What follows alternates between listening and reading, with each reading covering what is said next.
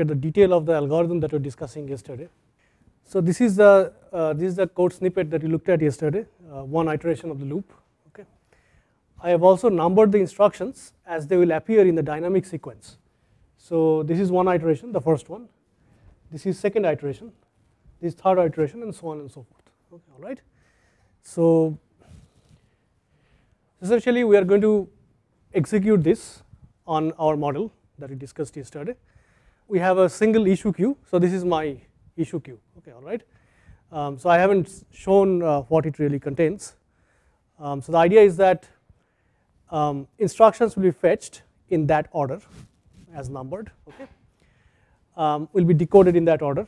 Okay, and will be allocated in the queue in that order. All right. So essentially, the instructions will sit in the queue exactly in that order. Okay, in the in the order of the instructions shown there and then from the queue we'll select instructions and execute them. Okay all right. So any question on yesterday's uh, material or any doubt that you might have on this model? Okay so so I'll, what i'm going to do is so each queue entry is going to have um, of course it will have a slot id which is the id of the queue entry okay? Um, it will have a bunch of source registers and um, one uh, at most one destination register. Okay. All right. So let's take the first instruction there. Okay. Um, so it's number one source dollar a zero.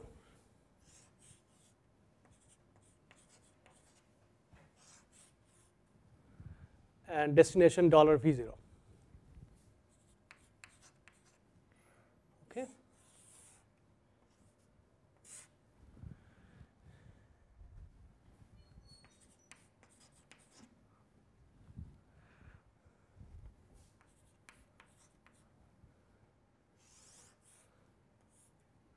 So for execution purpose, of course, I'll have to also remember the opcode, etc. Okay, let's any other argument, like for example, the immediate argument also I'll require. I'm not showing them here.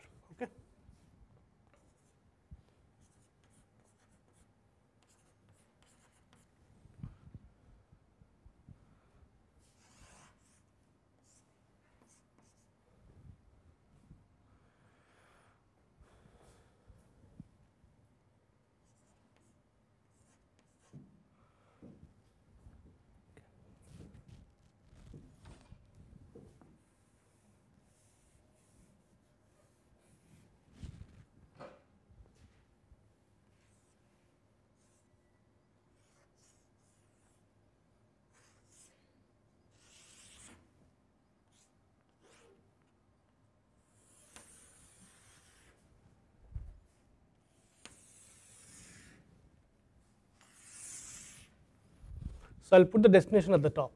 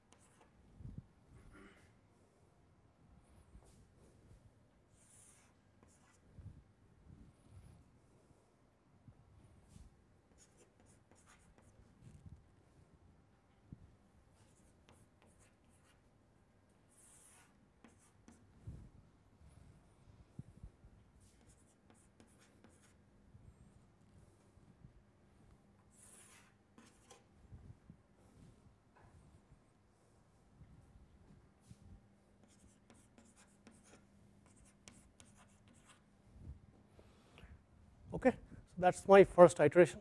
Right? So this is uh, source one, source two, dest. Okay.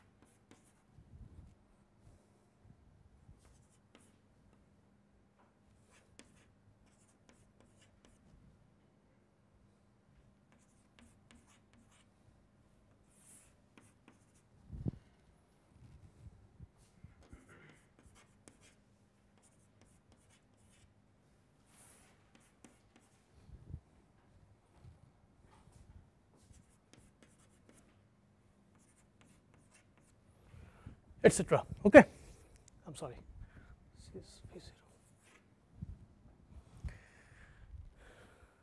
Right. So that's the order in which uh, instructions will be allocated in the queue. Okay, now when you allocate an instruction, I need to know if the instruction can. Okay, so let me tell you the remaining pipeline stages. So that might help you to visualize what's going to happen in future. So next stage is called wake up. Then there is a select issue stage.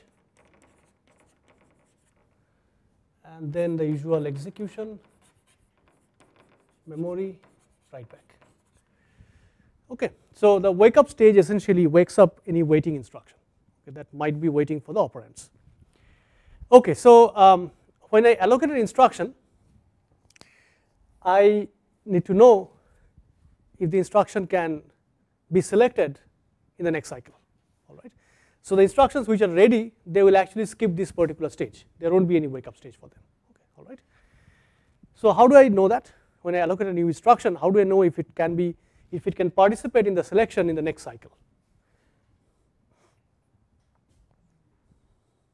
Yeah. Yeah. So how do you how do you figure this out? So let's suppose that um, I'm fetching in this order, right? The first instruction comes, uh, queue is empty, so nothing needs to be checked. So I, I'll actually uh, put a ready bit here. Okay. So in this case, the ready bit is going to be one, right? Meaning that next cycle it can execute. All right, no constraint on this. So this is a ready bit. What about the second instruction? So I take dollar $a0 and compare with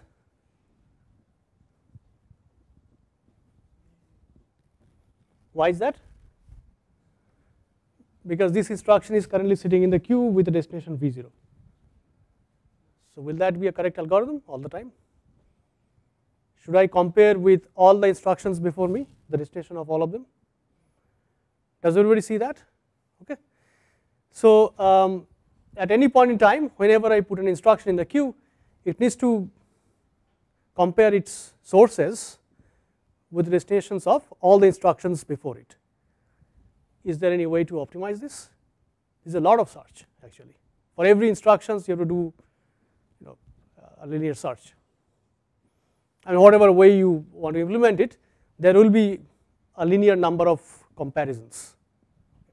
Any way to optimize it? Remember that uh, we discussed last time that as soon as the instruction executes, I may not write it to the register file.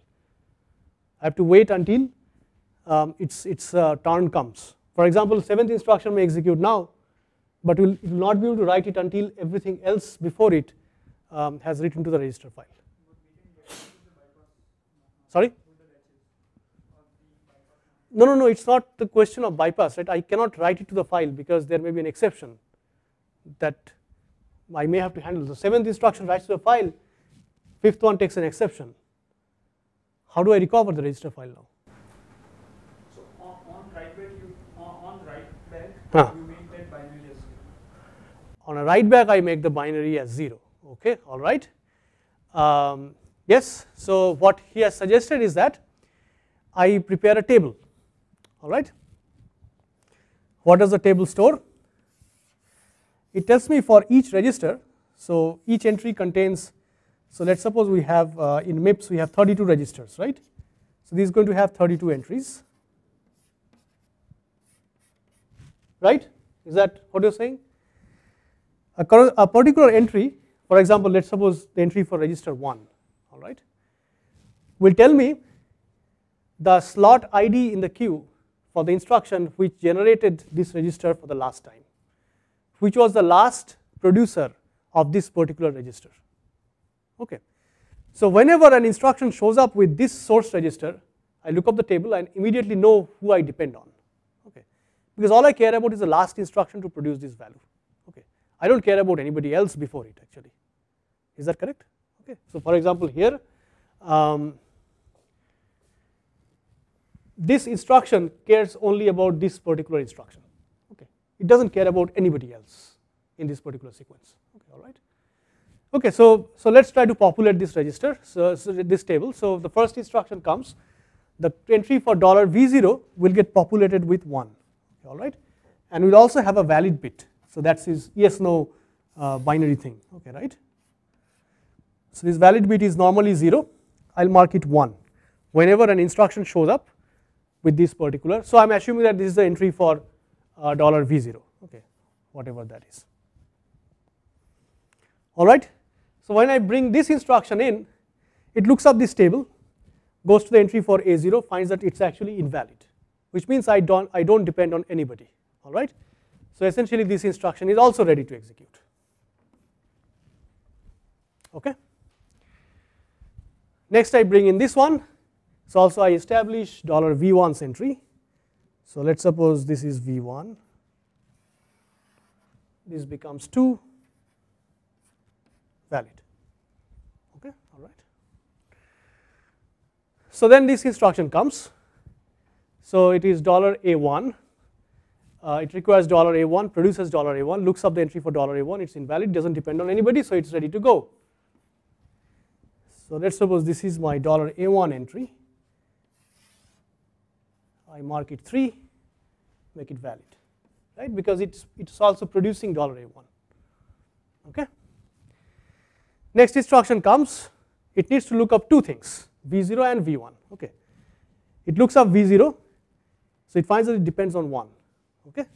It looks up V1, it depends on 2, all right. So that's what it marks here. So it's not ready to execute and it has a dependence list. At most two things it can depend on a particular instruction because it has two sources. What are, what, what are the dependencies? 1 and 2. It depends on these two slots okay all right so this is my uh,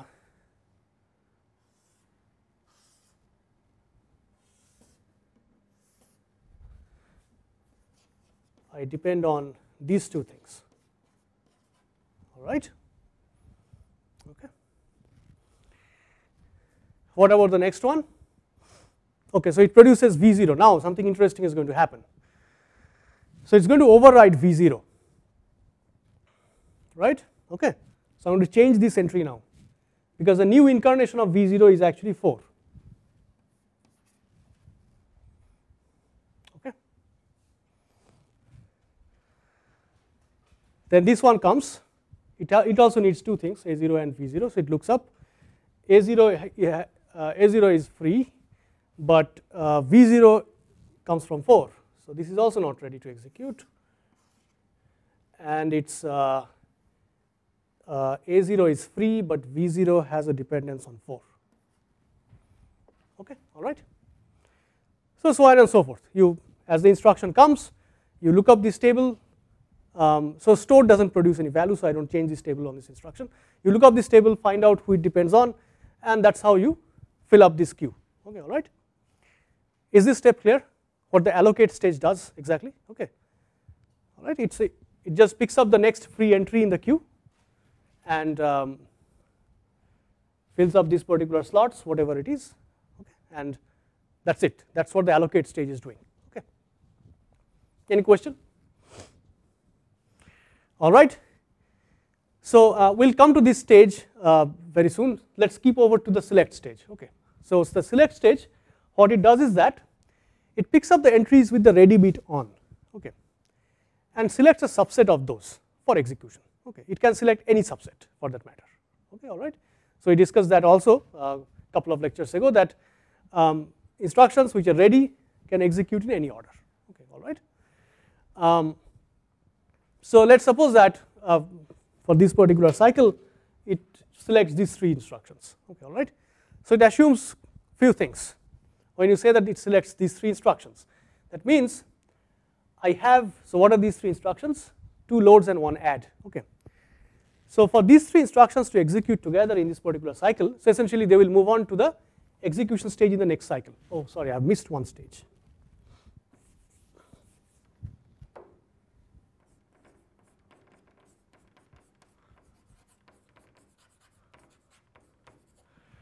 Okay, so um, so in this stage, essentially the, the selection hardware says that you can issue these three instructions um, in the next cycle, which means they will go to go and access the register file. Okay, all right. So these three instructions do not depend on anybody. Okay, so they will go and access their source registers. So in this case, they need $A0, $A0, and $A1. All right. So as soon as you say that, you implicitly say something about the register file organization. You say that the register file is designed in such a way that it can source three operands in a cycle, because in this case you need three. Okay, all right. And in fact, when you say that I, am, I can issue three instructions every cycle, in the worst case, you should be prepared to source six operands. Okay, right. So in this case, it just happened that these three instructions did not have a second source. Is it clear to everybody? This particular thing. Okay, all right. So, the, so, so essentially what I'm saying is that how much you can issue in a cycle depends on number of available ports in your register file. How many source operands you can get in a cycle. Okay. All right. So that's about your register file. Now we want to execute two loads and one add instruction in a cycle, right? Okay. So that means what? What kind of functional units do I need to be able to do that? Sorry, louder. Three adders. Why three adders? Exactly, two for generating the address of these two instructions and one for actually computing this instruction, okay, right? So I need three adders. So that's another implicit um, assumption that we're making when you say that I can actually execute these three in a cycle, okay. So what this means is that it puts one more constraint on the selection hardware. It should be aware of what are the functional units that are available in the machine, okay. It cannot just pick an arbitrary subset. So gradually restricting the subset, you can see that. First we say that you depend on number of read ports in the register file, how much you can read in a cycle. And then we are saying that how, what mix of functional units you have, that also decides what subset you can actually issue. Okay. So you need three adders. What else?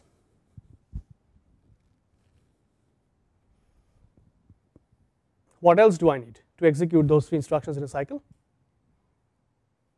Yes, louder two memory ports. Yeah. So I should be able to do two load instructions in a cycle. Okay. All right. So I need two two data memory ports. Okay. So then I'm if I have three adders and two data memory ports, then I'm ready to send those three instructions to the execution unit and they can execute concurrently without any problem. Okay. All right. So what happens after they finish executing? Okay. So essentially we are going to turn these bits to zero ready bits because they have essentially executed. Okay all right they are not eligible for participating in future selection. Okay all right. Now the question arises that where do i put the values that these three instructions produce? I cannot send them to the register file. Okay all right. Um, because it may not be time yet. So we create one more entry here which is the value so here it will store the value of the load.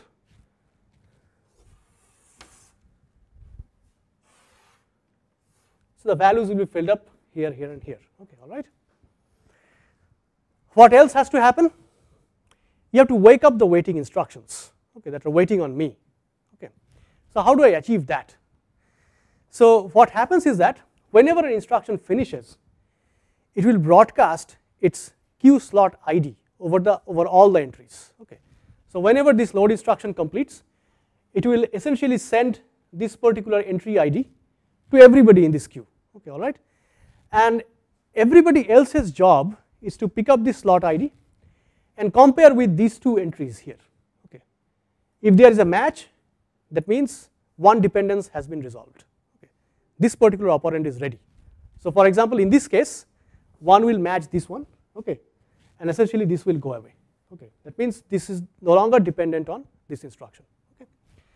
This instruction when completes will broadcast 2 and this will also go away and when both go away this bit will become on.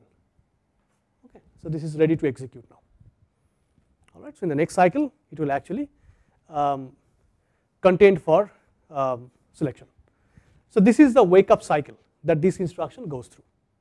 Okay, and you can see that an instruction can have at most two wake up cycles. In a particular cycle, one particular dependent dependence may get resolved. In another cycle, another dependence may get resolved. Okay,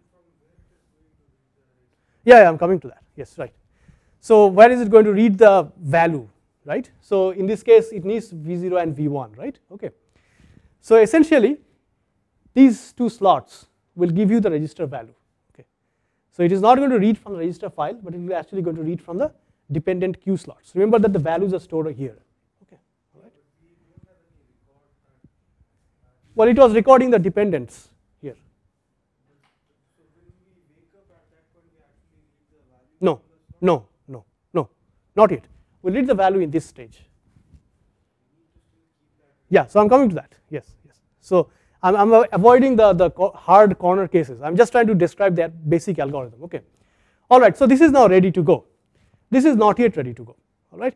And there will be many other instructions which are ready to go. I haven't shown actually. You can fill up the queue and see. Okay, all right. Okay, now, so in the next cycle, this instruction is now eligible to participate in selection. All right. So let's assume that the selection hardware selects this particular instruction. Okay, all right. So now, in the next cycle, this instruction has to read the register file. Okay. So now the question arises, the value may not be in the register file. Okay. The value may be sitting here actually, right, in these two slots. Right. So essentially now, you interpret these two entries in a different way. Okay. You figure out if uh, if these two these two you know these two entries essentially tell you where to get the value from.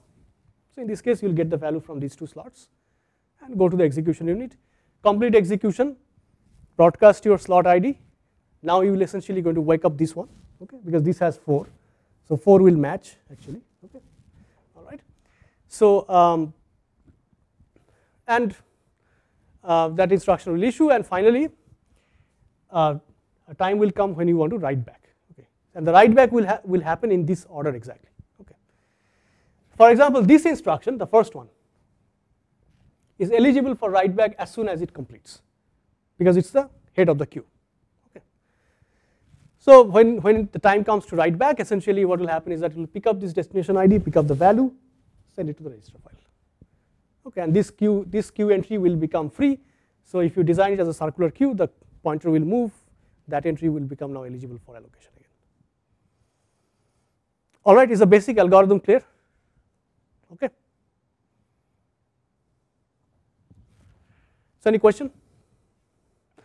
So one point to notice is um, that we have implicitly done renaming. That's one point. Okay, uh, because essentially we are using these um, these queue entries as an alternate name for the destination registers. For example, here I could execute um, two instructions with the same destination without any problem. Okay, because they essentially hold the values in two different slots in the queue. Okay, and they will write back to the register file in this particular order. So I can concurrently execute them. Of course, in this case there was a dependence, which is why I could not concurrently execute them. Um, uh, but otherwise, if there was no dependence, I could actually. Okay. Um, also notice that I can also resolve memory dependence because the store value here. Um, so what happens is that when the store instruction executes this particular one, um, the value actually still remains here. It doesn't go to memory yet because it cannot. Only when the store comes to the head of the queue, this value will be moved to the memory. Okay, so then the question arises, what does it mean to issue a store instruction then, right? So in this particular model, it actually does nothing. Okay, you cannot do the store at this point why is that? Why? Mm, there might be a load before it. There might be a load after it.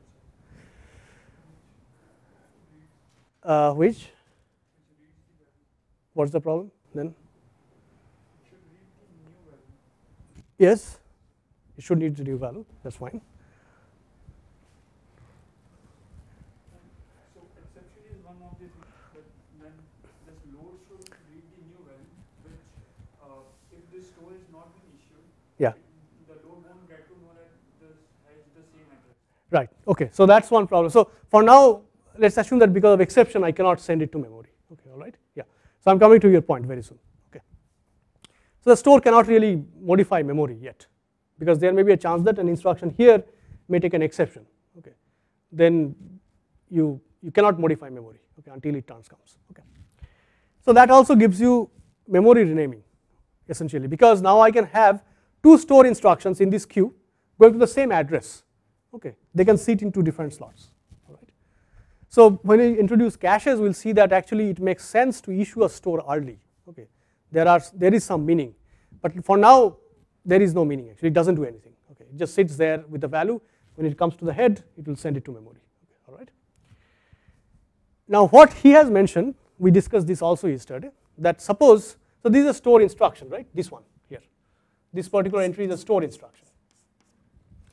It writes to some address, which is this, and we don't know until the store instruction is issued and it executes. So in this particular pipe stage, I actually get to know the address of the store.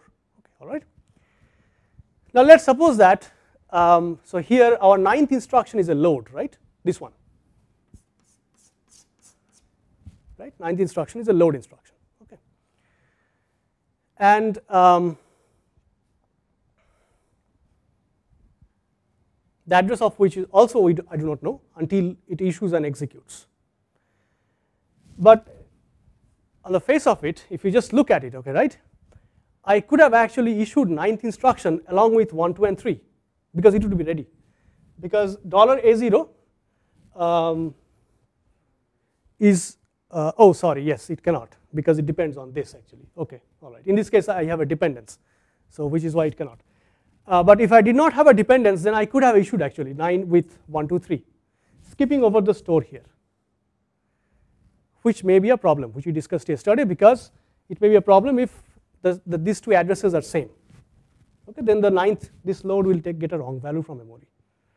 It should be getting the value from this store only. Okay. The problem is that I cannot really resolve it until both of these are issued and executed. Then only I get to know the address. So, so that's a big problem, and which is why often what you do is you would not issue a load if it has a store before it. Okay. All right. So you will you'll wait until fifth instruction is gone from the queue, it is executed, so that you know its address. You can store the address in a, in a slot in the queue. Okay. And this instruction can compare and can figure out okay whether it can issue or it has to wait or whatever. Is the basic algorithm clear? What's happening? Okay. So this is uh, called uh, algorithm. um, after the name of Robert Tomasulo, um, an IBM engineer um, who came up with this particular systematic way of uh, maximizing ILP um, for the IBM 360 machine. Uh, it has many different descriptions. This is just one of those many. Uh, the book has a different description, uh, which we will go through very soon. Um, but the, the, the crux of it is this, that you keep track of dependencies, you have a table to know who you depend on and so on and so forth. Okay. Now there are small issues that are left um, which actually can be troublesome, okay, which you have to think about. Um, the first question is, um, let's suppose that the instruction that produces, so currently V0 is produced by 4, right, V0 is produced by 4, okay, all right. And for some reason what happens is that this instruction is not fetched. Okay nothing beyond it is fetched. All right.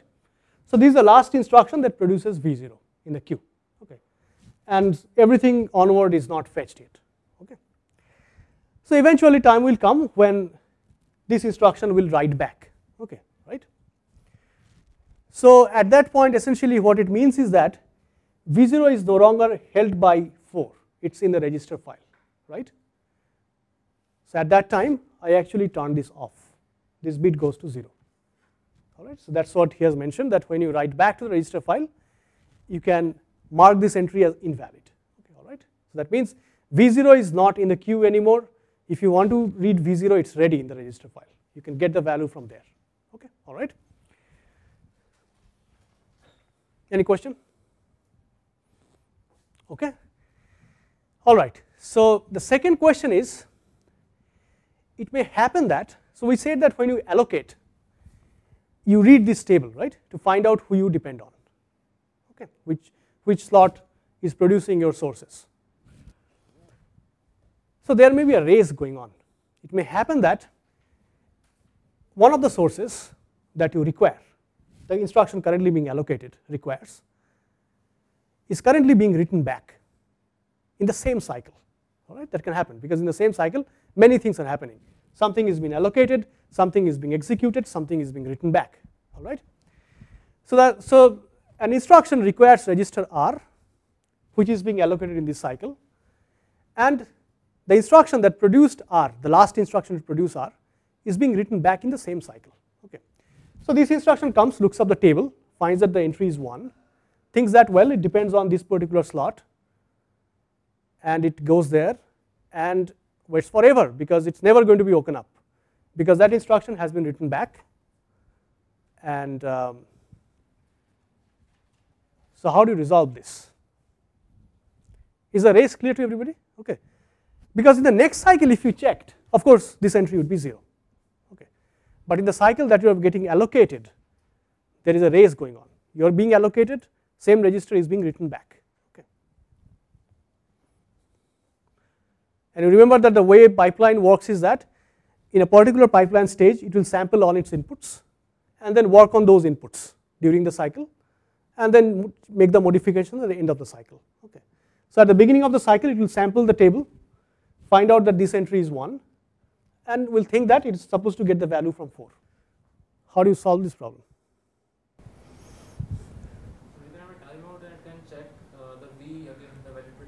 Timeout.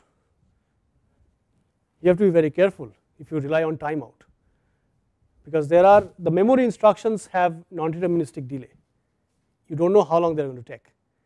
What if this register is being produced by a memory instruction, which may be a legitimate dependence actually.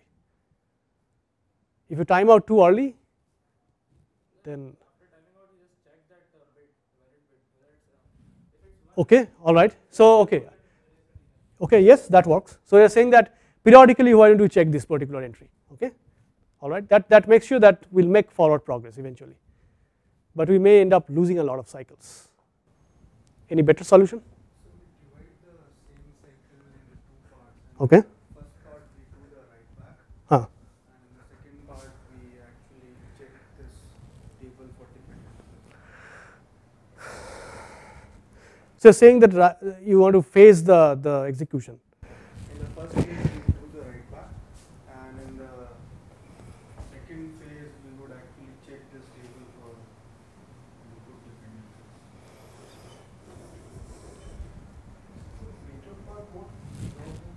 Sorry? No, see, the wake up happens when an instruction completes execution. You want to modify that? So, okay, so before I go to his solution, so what he has suggested is that why don't you have a phased execution that write back happens in the first half of the cycle and my allocation happens in the second half of the cycle. Okay, then the problem is solved because by the time allocate works, the table is up to date with this cycle's write back. All right. So I'll always get a consistent state in the table. Okay, that's one solution. But if I want a very high frequency processor, I may not be able to accommodate my write back in half cycle. Okay. Yes. Yeah, so we can have breakup even after write back, but that would increase one cycle. More You want to wake up after this? Huh? Okay.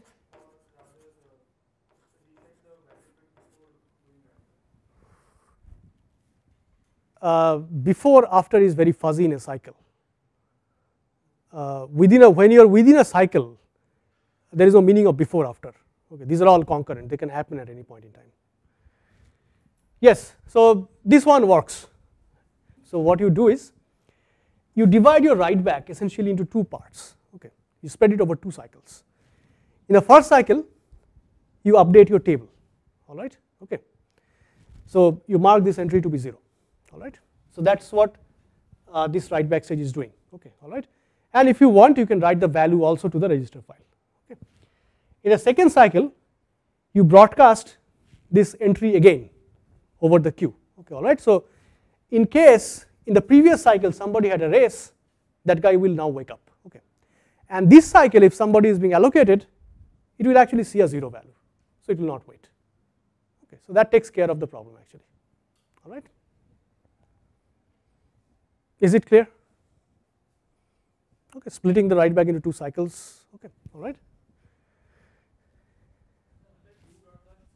Sorry? There is only one broadcast per write back. Okay, so when this particular V0 is written back, in the first cycle, in the WB stage, it will reset this bit and it will write back the value also to the file. In the second cycle, it will broadcast 4. Okay, actually in this case, it will broadcast 4 along with the value. Okay, the value will also be needed. Okay, all right. So if anybody missed that bit in the last cycle, we will wake up now, okay, and pick up the value from the bypass and we will go. Okay. Clear to everybody? More problem. So he said that um, this wake up stage is needed because this will wake up any waiting instruction which are waiting on some dependents, okay, all right, so that they can now participate in the selection in the next cycle. Okay. So you can have the same race there between allocate and wake up. You are being allocated and your source register is also being generated in this very cycle. Okay, you are being woken up actually. So what will be the downside if I miss this particular wake up? Because there is a chance that I may miss it because I am being allocated in this cycle and um, so what will happen is that I will go and look up the table, table will say 1 here let us say okay. So I pick up 4 but in this same cycle 4 is being completed okay alright but I will miss that wake up signal. So what I am going to do? I am going to wait there until this is going to get written back when I will be woken up because of that broadcast okay of the second broadcast that we have put there. Sorry? Yeah. No, it will be reset only when it's written back.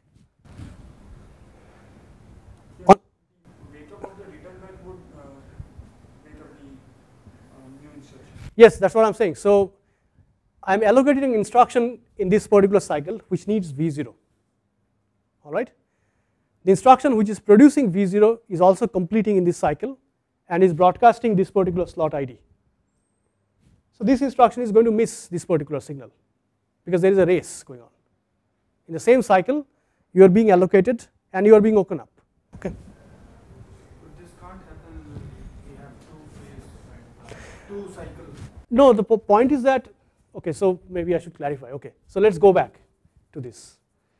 So these are ready to go, right? Okay. And uh, this is not yet ready. All right. So assume that this instruction is not yet allocated. Okay, all right. So now what is going to happen is that, um, let's see. So V0 is being produced by 1 V1 is 2. Okay, all right, fine. Okay, so um, 1, 2, 3 are, are issued, they are executing, all right, they go through the memory stage, they are done executing. So now they complete, okay. So essentially I'm going to broadcast 1, 2 and 3, they are complete now, all right. So when this broadcast happens in the same cycle, 4 is being allocated in the queue. 4 looks up this table, finds that it depends on 1 and 2, all right. So it goes in there, sits there waiting for 1 and 2 which will never happen because 1, 2 and 3 have been broadcast in this cycle. So this instruction which could have executed in the next cycle will now wait until these two are written back when they will be woken up. Is the, is the, is the problem clear to everybody or you still don't see it? So what I am saying is that you are now depending on this particular wake up to know that you are ready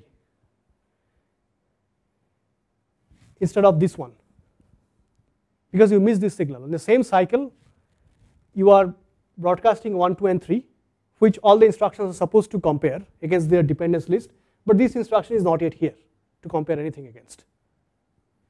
It is still being allocated in this particular cycle. Okay.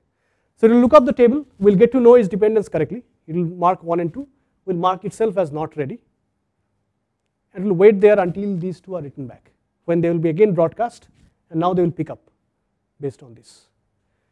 So there will be some lost cycles which we actually don't need. Is it clear? How do you solve this?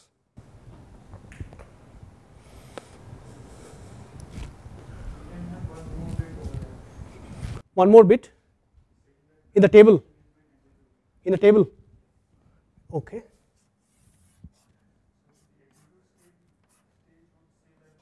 You want a ready bit. You want a ready bit?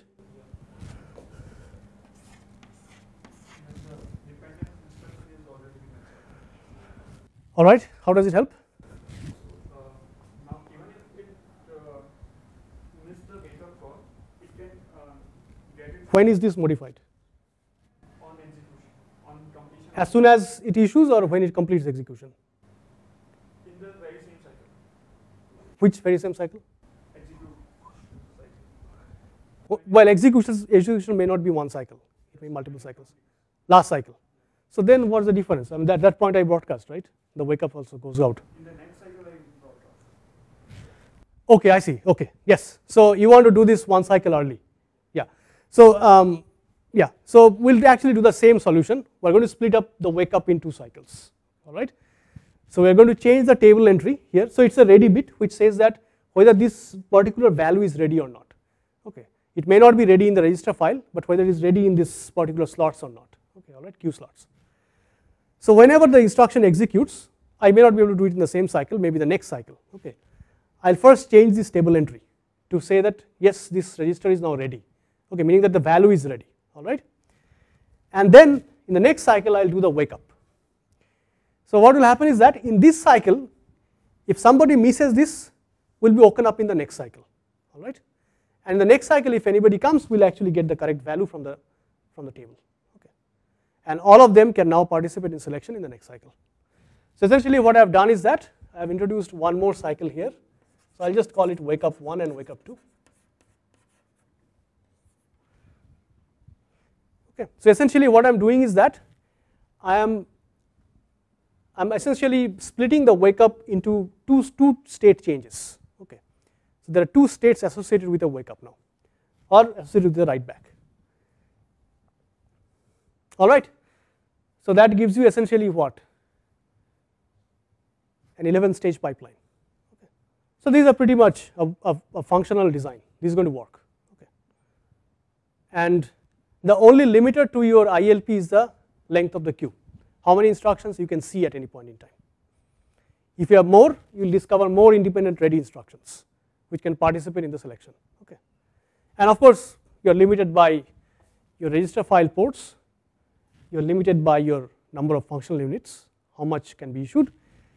Also, we haven't discussed one thing that is you are limited by the rate at which the queue can drain. Okay, and that depends on what?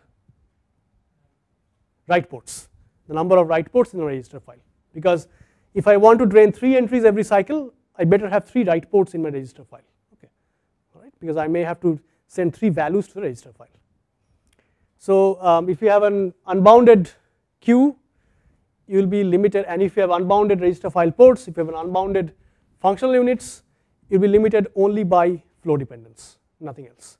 Only data flow will be the limiter. Okay, you'll get all other ILPs possible in your program.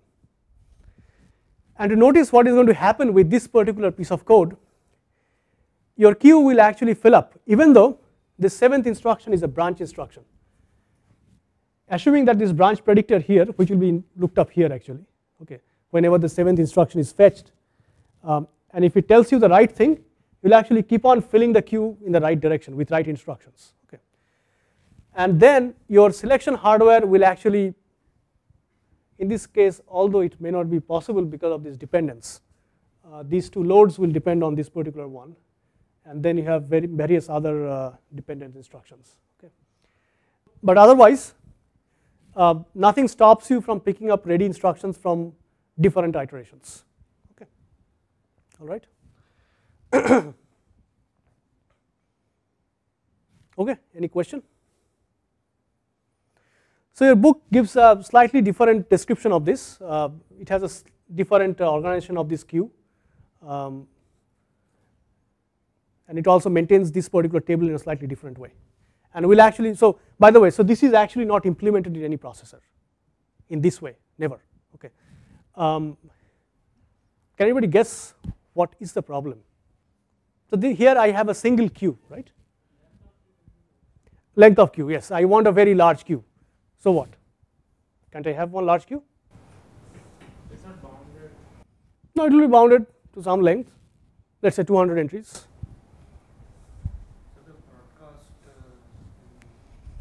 when doing the write back. Broadcast, And so if you have a long queue, then the broadcast would actually become the bottleneck. why? You have to, so all of them have to actually check, How many comparisons? have to update at all the entries that Yes. this is the last thing, last value Right. back. So how many comparisons? The number of entries into the maximum number of dependencies. How can, yeah, how many? So okay, the number of writebacks that can be done in a cycle into the number of entries. Why? Is it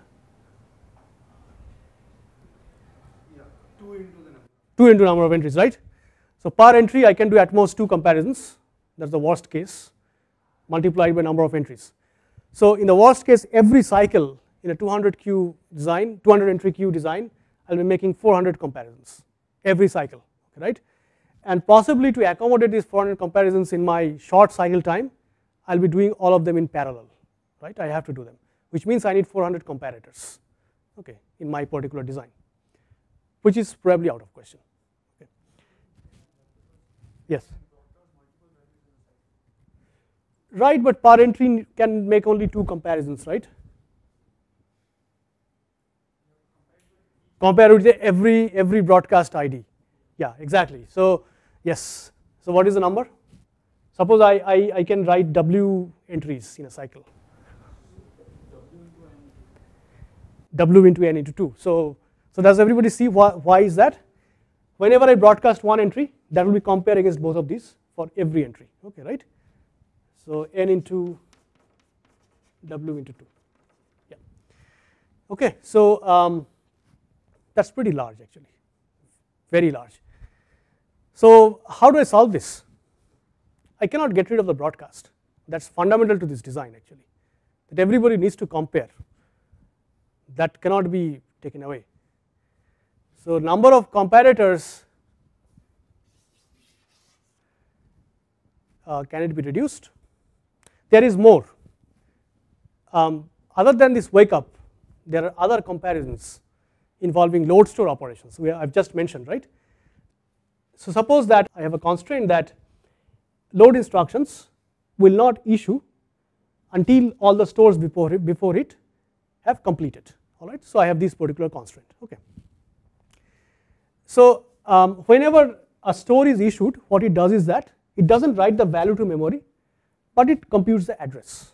Okay. It goes to the execution stage, computes the address, and stores it in, in a separate uh, field in this particular entry. Okay. So whenever a load instruction wants to issue, it first checks that all the stores have been completed before it. Okay, that's the first constraint. And let's suppose that yes, they have all completed, but there are a bunch of stores before it actually, which haven't yet written to memory. All right. So what it will do is, it will issue, compute its address, and then broadcast the address over all the queue entries for comparing against the stores which have completed. And if anybody matches, the, the load has to be called back. Okay, all right. Load has to be called back. It will take the value from the stores entry. It cannot take the value from memory. Is that clear to everybody? Okay, because the load is supposed to consume this value, not something that is in the memory. So that actually increases your number of comparators even further. You need address comparators. So these are uh, QID comparators. So these are dependence comparators.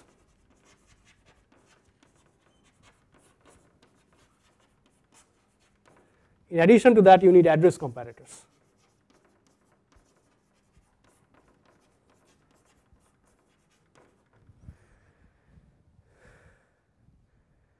So what do you do? How do you reduce this overhead? The.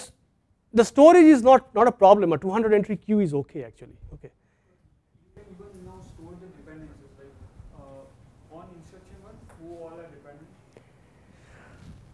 So you want a list of dependents here. As opposed to storing who I depend on, you want to store who I need to source. Okay, all right. We increasing queue. But this list may be unbounded, right? So how do I size it then? Because this, this, this, has to be, this has to be done in the silicon, which will be fixed at design time. You cannot increase it at runtime, saying that, oh, I need more, That will be limited by the uh, size of the yeah, which is, which is gigantic, right? Yes? Hash table. Will that reduce your number of uh, comparisons? It will reduce W. It will reduce the comparisons to W. How? What is the organization of the table?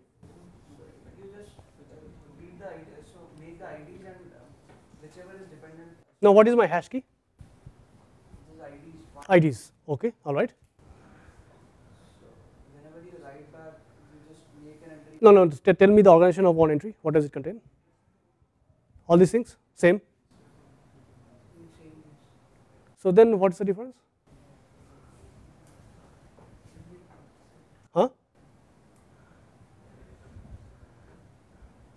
Okay, so I will continue from here next time. So I'll stop here today. Okay. Because we can have it uh, based on the registers. Based on the registers. The Means? uh, can you little bit more?